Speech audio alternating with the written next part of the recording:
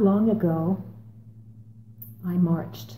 I marched with a group of women from northern Israel to Jerusalem. We marched for two weeks, Women Wage Peace.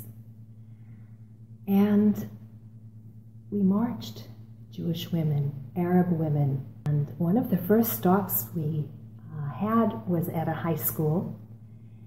And we were sitting in a classroom. And the teacher there asked his students, he said, Look at these women. They got up, they left their lives behind, and they got up to march. They marched for something that was important for them.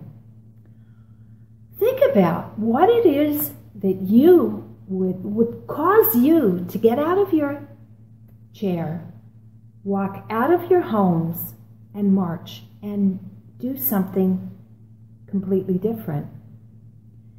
And he left that thought with his students.